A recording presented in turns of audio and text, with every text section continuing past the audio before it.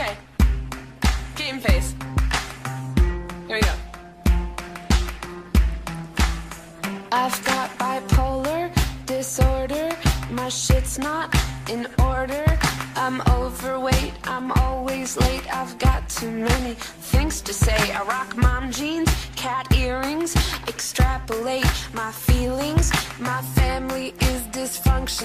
but we have a good time killing each other. They tell us from the time we're young to hide the things that we don't like about ourselves inside ourselves.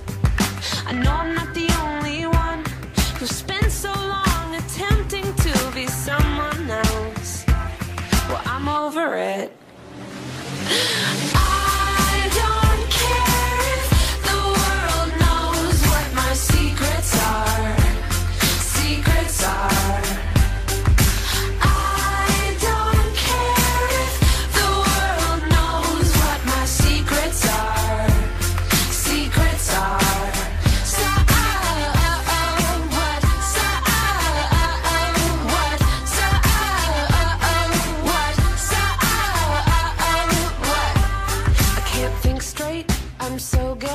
Sometimes I cry a whole day.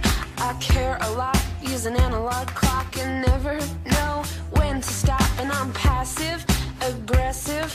I'm scared of the dark and the dentist. I love my butt and won't shut up. And I never really grew up. They tell us from the